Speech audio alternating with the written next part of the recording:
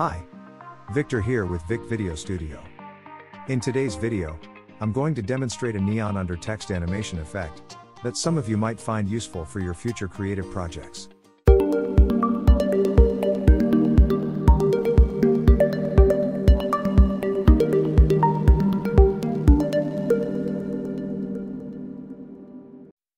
The result is outstanding.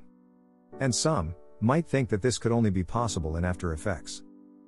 Well, this is a short example of how you can achieve stunning effects inside Create Studio as well. Let's just start creating. I started by adding a rectangle from the Shapes menu. I have expanded this rectangle to fit the canvas, and I gave it a color for a better contrast. I chose a heavy dark gray, almost black.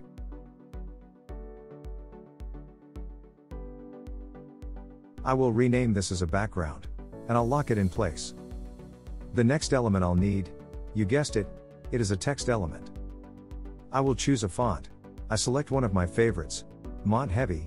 It is a very nice font that looks just great on this design I will show you today.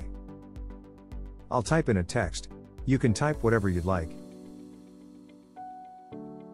And I'll make it a little bigger and place it in the center. Now, I will go to advanced.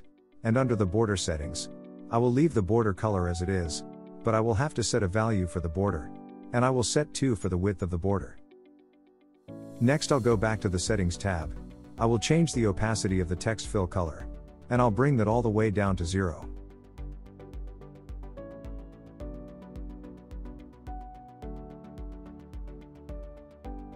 Now, let's add another rectangle. And I will make it smaller like a little vertical bar. I'll bring it here on the left side of the text. I will set a bright green color. To get that neon effect, I am renaming this. Running color. And now let's make magic. I will right click on the shape. And I will mask it with the text element. Now, the shape has a mask. The shape will only be visible within the text boundaries. Next I will add a custom animation to this neon color shape. I will set position. And the easing I will set for both. And choose Expo. By placing the playhead over to the right of the added animation, I will take the neon shape to the right side of the text. You can see how it is only visible inside the text. I will extend the duration of the added animation to have the running neon color go more slowly. Next, I will duplicate this and set it aside for later. And, I will add another rectangle I will resize it and make it long and thinner like a long bar, to fit the length of the text.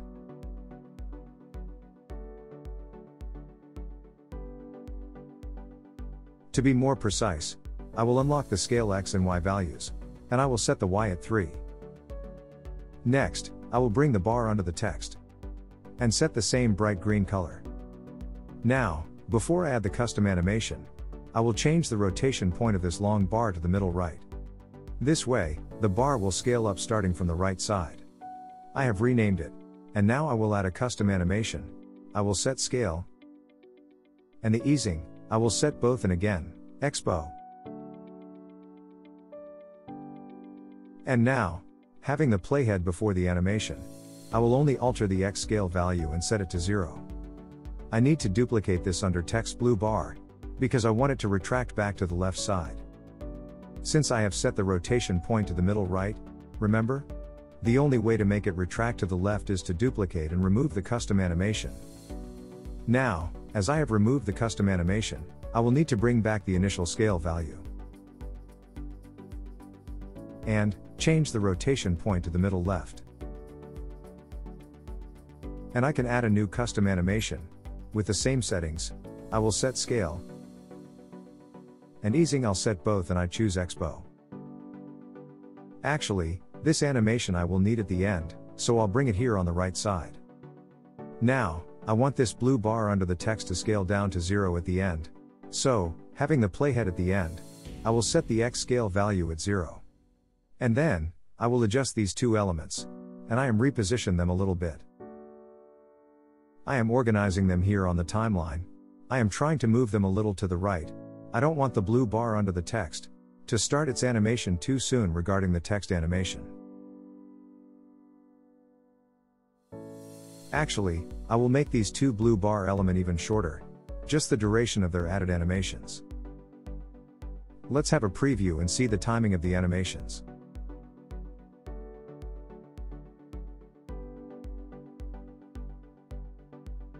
I think I should make this blue bar a little bit more thinner. So I'll just go to settings. And I will change the Y scale value at 2.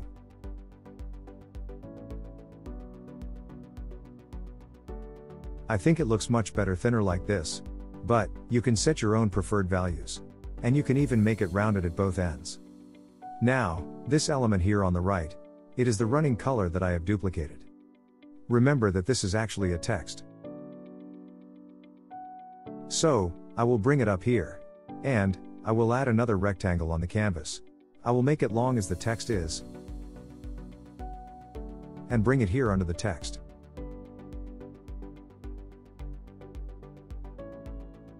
I will quickly rename this as well.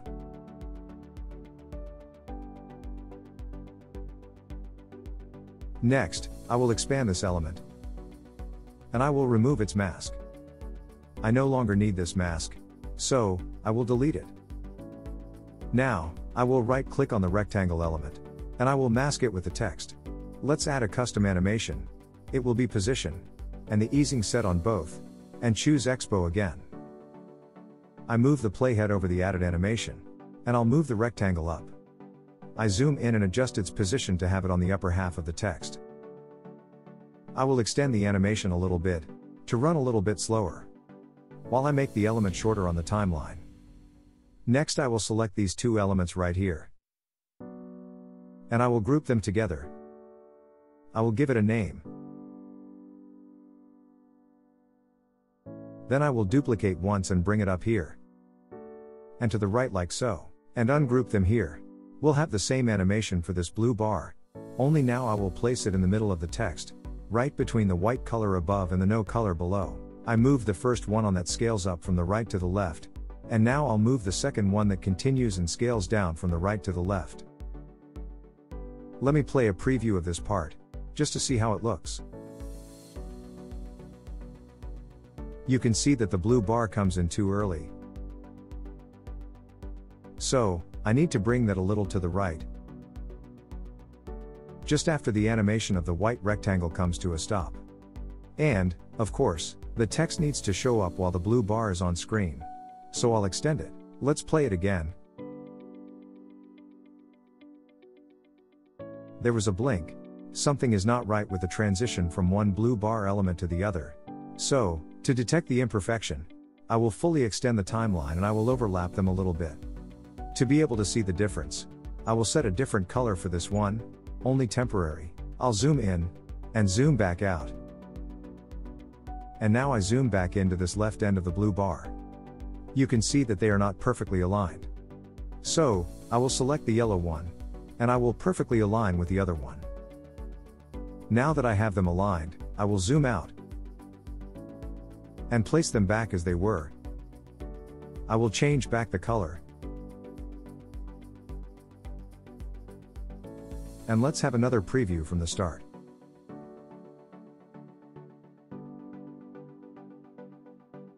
Now, I've noticed another blink in the main text, right here where the two elements meet.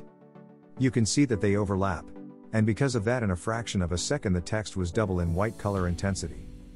I will adjust it and we'll have another preview.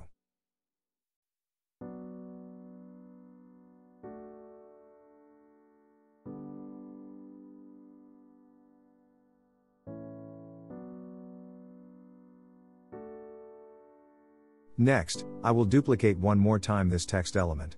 I will drag it here to the right. And I will bring it up here on the timeline. I expand the element on the timeline, Remember that this text had a white rectangle moving and stopped in the upper half of the text. Now, I will position the playhead before the added animation. Remember, this was position and easing was expo. And I will move the white rectangle upwards, to the point I can no longer see it. And this will be the starting point for this animation. The next step will be to move the playhead over the animation to the right, and move the white rectangle down, just below the text.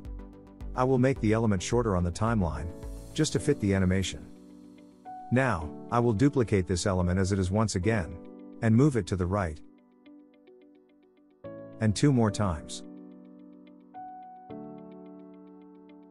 I'll play a preview, just to give you an idea what will look like. But, there will be some more fine adjustments to be done. I'll start by changing the easing. Because as you just saw, Expo is too fast.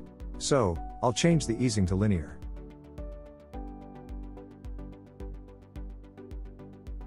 I will go and change the easing to linear, to all the other three elements. Next, I will fully extend the timeline. And I will count 10 of these frames of a second. And make this first element as long as this count. And I must not forget to adjust its custom animation accordingly. I'll bring the next one here. And this time I will count only 9 frames of a second. So, this will be shorter with one of these frames than the previous one. I'll fast forward a little bit, just keep in mind that the following ones will be shorter with one frame than the previous. Next, I will go down here. And I will duplicate this slide up white element. And I will bring it up. And bring it here to the right. I'll expand the element down. And I'll remove the mask. And now that it is removed I have two elements on the canvas. A text and a rectangle. I will delete the rectangle, as I don't need it here, I only need the text. And I will duplicate this text now. The first one here below, I will make it shorter on the timeline. And this one will stay as it is. And the next one above, I will bring back the opacity all the way up to 100%. And so the text will be white. And next, I'll go here to advanced settings. And I will set the border width to 0. Next, I will add a custom animation. I will set color. Let's fully extend the timeline.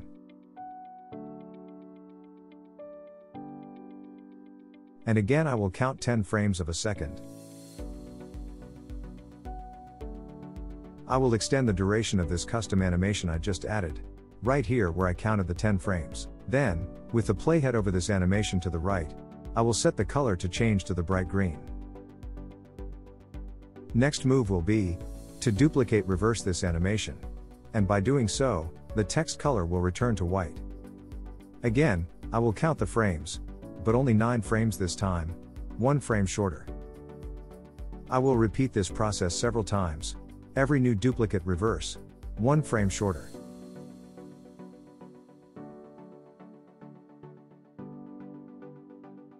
And, let me play a preview.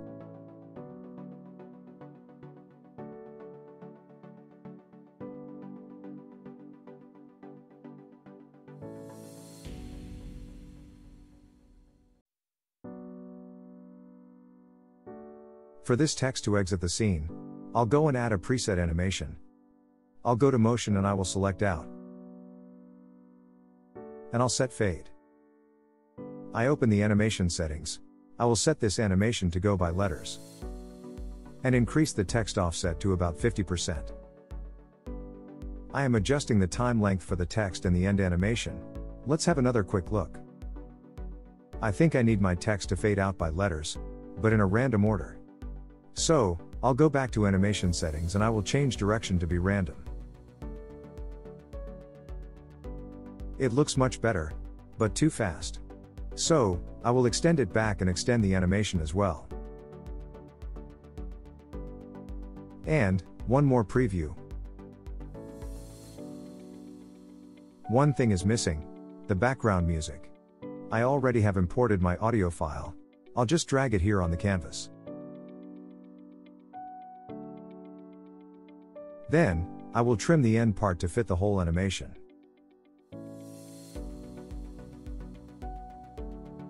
From the previous playback, I noticed that one more thing I need to change. For these four elements, I will need to change the color from white to that bright green.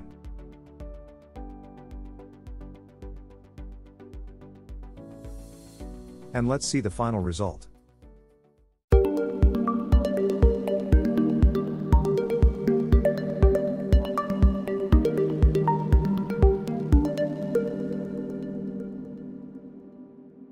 So, this is how to animate a neon effect, to create a YouTube intro, or a logo animation for your projects. I really hope this tutorial is helpful, and I am really curious to know your thoughts, so please leave your thoughts in the comments below. Please don't forget to like, subscribe, and hit that notification bell to be notified for my future releases. Also, let me know in the comments, what other techniques or effects in Create Studio would you like to know more about? And I'll be more than happy to make a tutorial for that. As always, thank you for watching. And, have fun creating.